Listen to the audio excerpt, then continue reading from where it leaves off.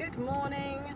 I just got weighed at Bellevue on uh, Thursday morning. It means nothing to you, Bellevue, but anyway, it's another weighing club on a Thursday morning.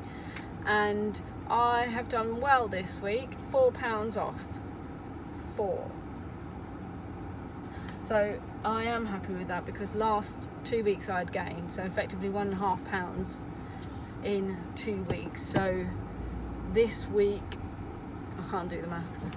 Four minus two and a, four minus one and a half, two and a half pounds effectively. I think that's right. Anyway, whatever. Um,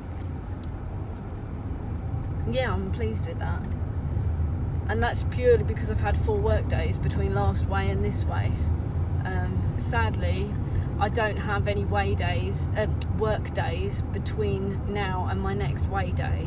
And there's only going to be six days because I've weighed on a Thursday and I'll be back to weighing Wednesday next week. So I've also got my son's fourth birthday on Saturday. So we're having a big birthday barbecue, garden party. Uh, there'll be drinks, food.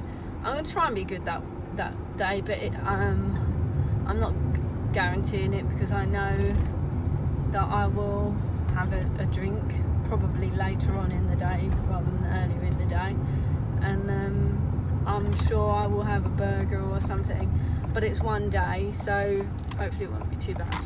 Anyway, happy with that uh, onwards and upwards, onwards and downwards I should say.